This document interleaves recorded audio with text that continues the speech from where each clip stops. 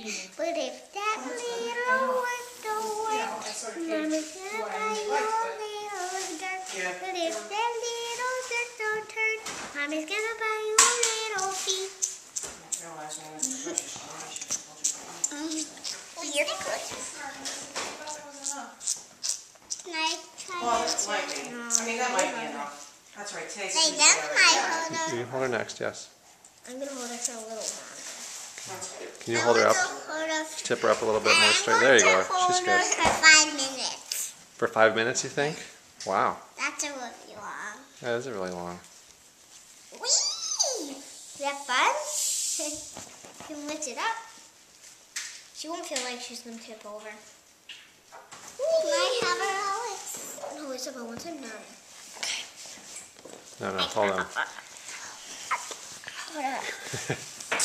Good transfer, but way to handle that, Megan. I need to. All right.